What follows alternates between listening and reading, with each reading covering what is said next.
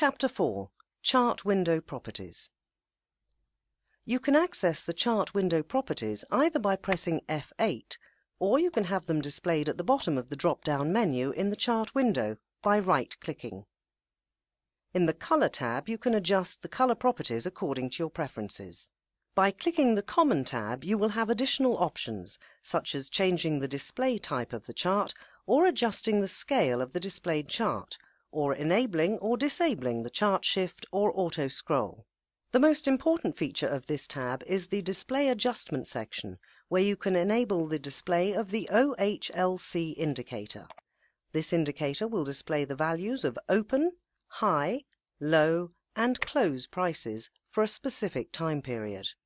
You can have the ask line displayed which shows you the current ask price and it is displayed as a red line by default.